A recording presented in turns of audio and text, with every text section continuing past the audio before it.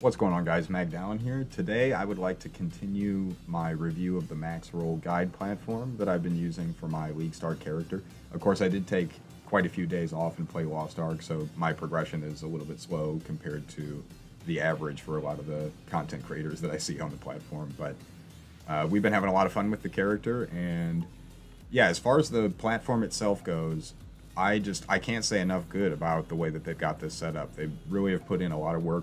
Obviously, I'm only focusing on one guide, but I took some time and went through a lot of the other ones, and they appear to be all of about the same standard. They're incredibly complete, and uh, just a couple of highlights of the stuff that I've found to be really uh, useful. The skill gem section I find myself coming back to this pretty frequently. Oh, I forgot this gem, or which one is linked to which one, etc., etc. It's really fast to just come back and take a look real quick and figure that out.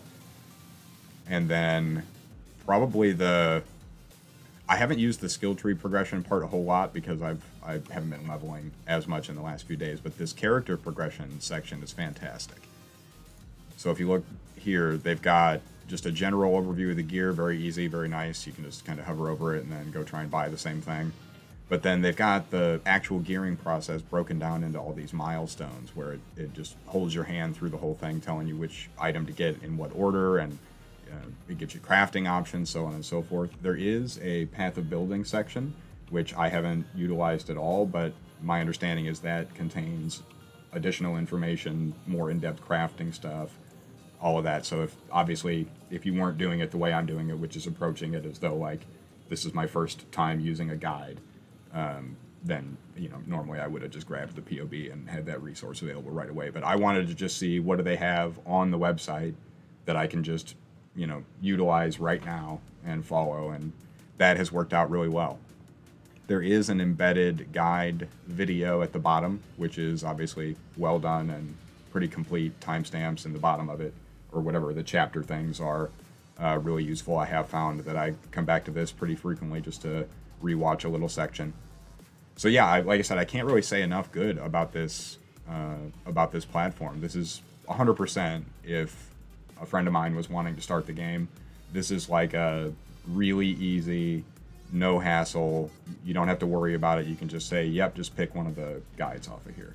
And to my knowledge, there just isn't any other platform that has every guide at the same level of, uh, you know, it's just going to work.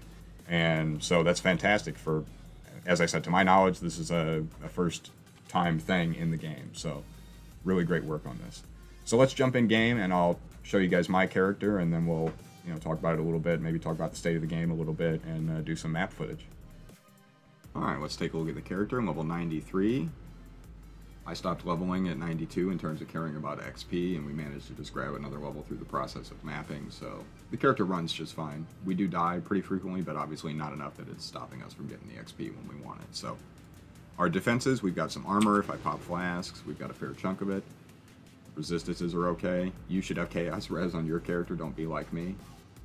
And then in terms of the gear, it's all really cheap. Let's hover over some stuff real quick. This is the wrong chest piece. You probably want the uh, currently very popular Onslaught chest, but I didn't want to pay for it, so this is what I'm running. Rings are a divine or less. Amulet is, I, I don't even know when I got this. I, it just had the stats, you know, the Dex and Int that I needed, so I've just been going with it. Anointed the cheapest damage anoint that I could find. Still running the goal. I did buy this, but it turns out the character just isn't fun enough smooth enough, powerful enough, whatever the way I have it set up to play without the goal, and so this might just be a sunk cost, as it were, but um, you could also just throw some gems in there and swap it out for when you do invitations or whatever, but it is what it is. The axe is really the only thing I spent any currency on. I think I paid three divine for it, and the guy just said oof after we traded, and I said thanks. So I don't know if I overpaid or he undersold or what happened there, but it's been working out for me. Obviously, the build does call for maces at the final end game form of the build, but I'm not going to worry about switching to that. You'll get some more stun, maybe a little bit more damage, I think, but I'm fine with axes and the way that I've got it set up. So Now, in terms of auras, I'm still running Herald of Ash, Determination, War Banner, and Blood and Sand. The build calls for Pride and also for swapping out of Herald of Ash and Blood and Sand, and then you run precision, and I believe you grab an Aul amulet with pride on it so that you can try and use reservation to sneak in another aura. Uh, I'm not going to worry about doing any of that. I want the explosions from the Herald. I enjoy that. And Blood and Sand is also kind of fun to play with. It does result in there being a lot of buttons in the build. And so definitely the next build I play, I want something real simple in terms of how many inputs I need to do in a given, you know, two or three minute gameplay space. But uh, for what it is, it works really well. In terms of the Atlas, here's where we're at. I did get all four of my Void Stones. I paid for some carries on those. And we've got some of the favored slots, but not all of them. And you can see our progression there. So not crazy, like I said, we're a little bit behind the curve, but that's fine. We're, we're chugging along just fine. Here is my Atlas passive tree. Pretty standard stuff, I guess, now. Uh, full expedition. And I'm running Harbingers, which I guess I just said it's standard, and that's, I guess, not. But I am seeing a lot of people starting to run Harbinger again. I know for me, it really helps with the bubblegum currencies, and every league I get at least two, if not three, mirror shards throughout the course of the week, or at least that's been the case for the last, I think, three leagues. And so if that's still the case, mirror shards are still pretty valuable. So we're going to see how that plays out. And then we're just grabbing the sextant thing and then some altar stuff. And then for now, I've still got a lot of the map nodes, which I'll probably swap out eventually and come up here and grab some more altar stuff and then some quant or whatever. But yeah, that's uh, basically that. And then in terms of scarabs, we are using divination, harbinger, and Reliquary. That seems to be working out just fine. And remember, if you're having trouble with map sustain, the for me at least, the maps that you can Horizon into are really great this week. You can get uh, Waste Pool and Arid Lake, which are both for me just fine maps to run. So if you're running low, just grab out all your trash maps, Horizon them all into, you know, those two, and then blast those out. And if you've got a few of the favorite slots, you should be able to get a pool going of your map of choice which for me is still going to be Crimson Temple, and then I'm going to also do some Park. And so we'll see how that goes. Yeah, so let's jump into a map here. I'll show you how the character runs, and we'll talk a little bit about the game, and then we'll send you on your way. Alright, here we are in an Go Crimson Temple map. I tried to pick a clip that was pretty representative of my average experience while I've been farming. You just run in, pop your Blood Rage, start smashing stuff up, explosions going off, stuff starts feeling pretty good. If you get low, just fire off the life flask and you'll be alright. Obviously, you could stack some more chaos res and spell suppression if you don't want to die as much and you want things to be a little bit smoother. I don't mind though. In terms of loot, I haven't had any trouble, you know, making four or five divines and then buying some gear and then making some more and whatever. That's been okay.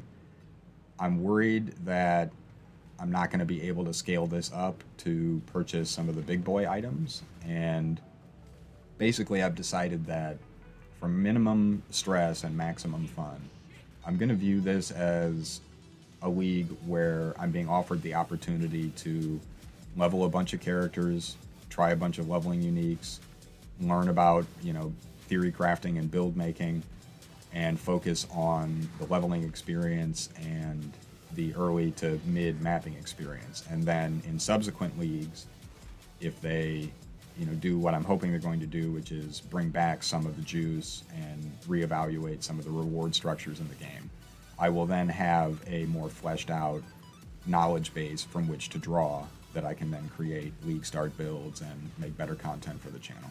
That's the way I'm going to try and spin it. That's my uh, version. That's my method for creating the copium that I require. And so, yeah. And then what else can be said? Yeah, to put a bow on all this, I think the experiment of can I grab one of these guides and end up with an experience that is fairly similar to how it would feel if I just made the RF character that I'm really comfortable making and that I've played several times. And I think the experiment's been a success. Um, and so, like I said at the beginning of the video, the Maxroll guides are fantastic. This character runs just fine. I've been able to do all the stuff that I needed to do, and there are clear and well thought out and you know well written guide portions for the next steps that you would do if you want to take this character further than than I'm going to take it.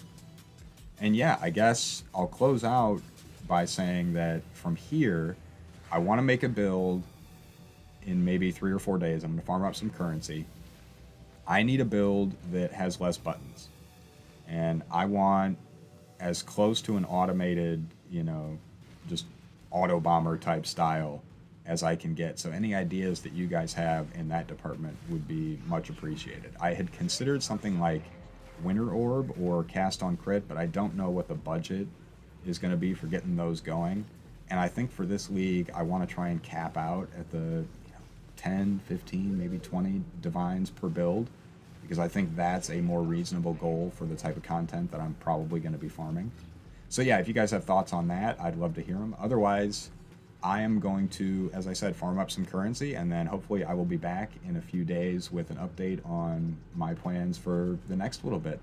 So yeah, I hope you guys enjoyed. Thanks for sticking around, and I will see you in the next one. Appreciate you.